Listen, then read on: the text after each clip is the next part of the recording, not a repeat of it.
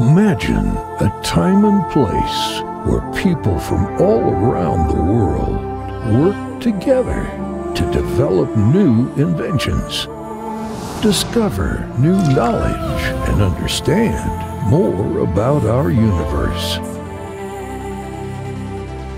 A place where the language was science used to make the world a better place.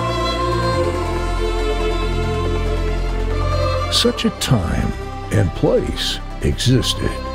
It was a long time ago and has almost been forgotten.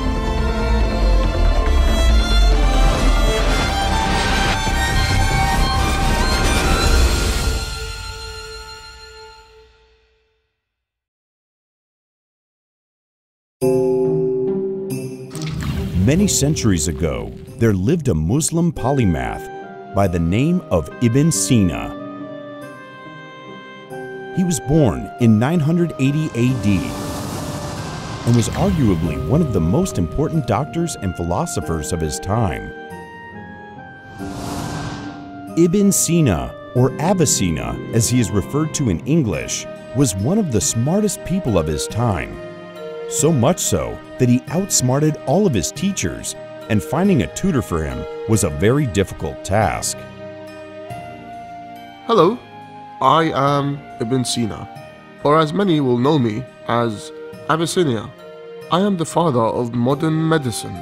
My work in medicine was mainly about the prevention of diseases rather than the treatment, which is important in today's world. I left behind a lot of advice on the use of herbal medicine and biologically active points for various diseases. By the age of 14, Ibn Sina had mastered many subjects and memorized the Quran.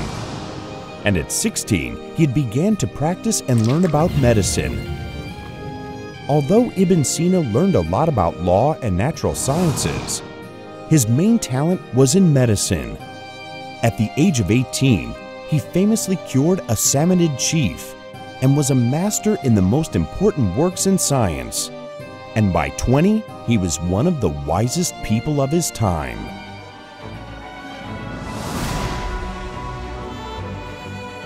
And so, as we see great Muslim minds have walked this earth as scholars, scientists, doctors, philosophers, and engineers.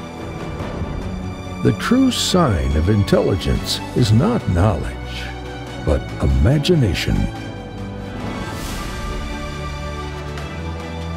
So if you dare to imagine like those before us, you will become creators who bring dreams to life.